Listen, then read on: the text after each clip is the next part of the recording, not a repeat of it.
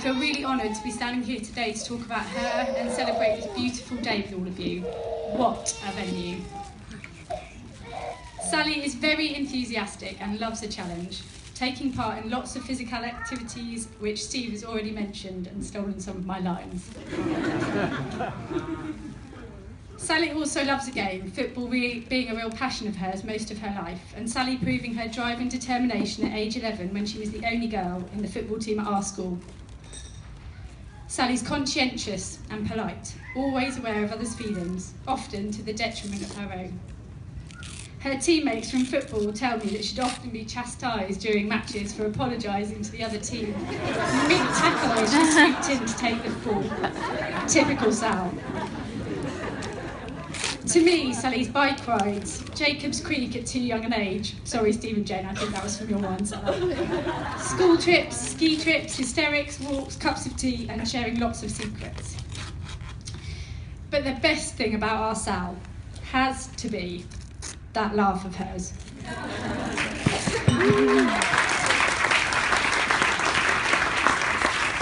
that dirty, infectious, naughty laugh that gets you going even if you don't know what you're laughing at.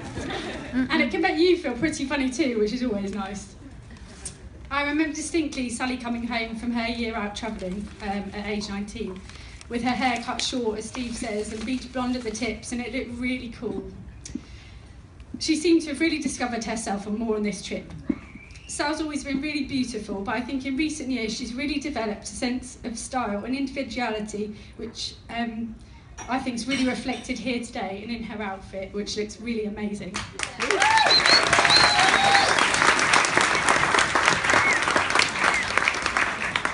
So, Kelly, these are some of the traits that Sally will bring to your marriage. And while she has her flaws, she can sometimes be a bit away with the fairies. She often pauses mid sentences with lots of um,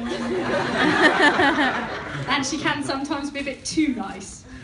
But these are far outweighed by the positives. How did Kelly and Sally meet? They met on a hen do of one of their mutual, of two of their mutual friends. Kelly was dressed as 118, 118, and they immediately hit it off. With Kelly leaving able to claim, got your number.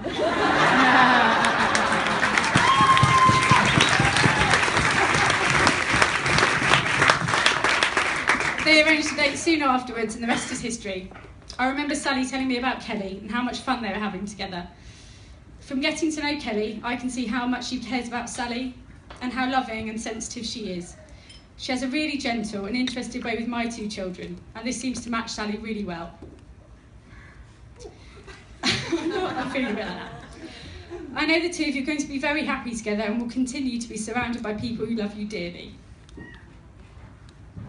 I'd like to finish my speech with a quote from George Eliot. I love you not only for who you are, but for who I am when I'm with you.